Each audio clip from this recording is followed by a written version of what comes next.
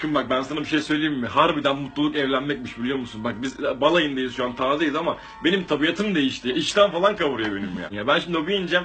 Güzel güzel bir yemek yaptıracağım bize. Bir şey istiyor musun hayatım gelirken? Sana gelmesin bir tanem. Tamam tamam bir tane. Aynen ya böyle sandviç falan varsa bir şeyler sana zahmet bir ayarlasana bize babacığım eyvallah. Merhaba. Vodka içersin.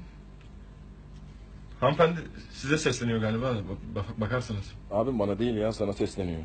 Yok kardeşim bana ne söyleyecek siz? Sen sen vodka beraber içelim. Efendim ablacığım. Beraber vodka. Hı?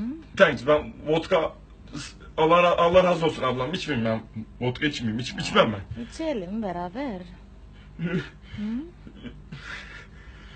Teşekkür Allah razı olsun ablam onur oldum.